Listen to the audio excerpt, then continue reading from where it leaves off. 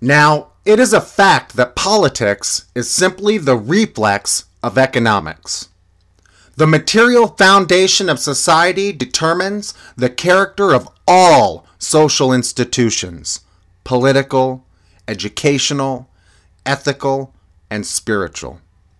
In exact proportion as the economic foundation of society changes, the character of all social institutions changes to correspond to that basis. Half of this country was in favor of chattel slavery, and half was opposed to it, geographically speaking. Why was the Church of the South in favor of chattel slavery? Why was the Church of the North opposed to chattel slavery? The northern capitalist wasn't a bit more opposed to chattel slavery from any moral sense than was the southern plantation owner. The South produced cotton for the market by the hand labor of Negro slaves. On the other hand, the North was not dependent upon cotton, could raise no cotton. In the North, it was the small capitalist at the beginning of capitalism who had begun to manufacture with the machine and who wanted cheap labor.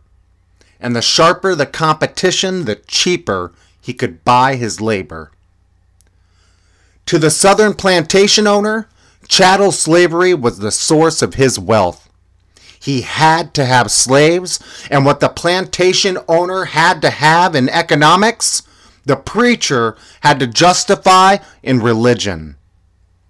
As long as chattel slavery was necessary to the southern plantation owner, as long as that stage of the economic condition lasted, the preachers stood up in the pulpits of the South and said it was ordained of God and proved it by the Bible.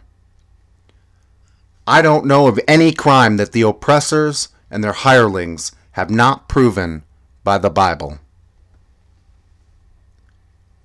Thank you so much for listening. Please give this video a thumbs up, subscribe to the channel, and comment below.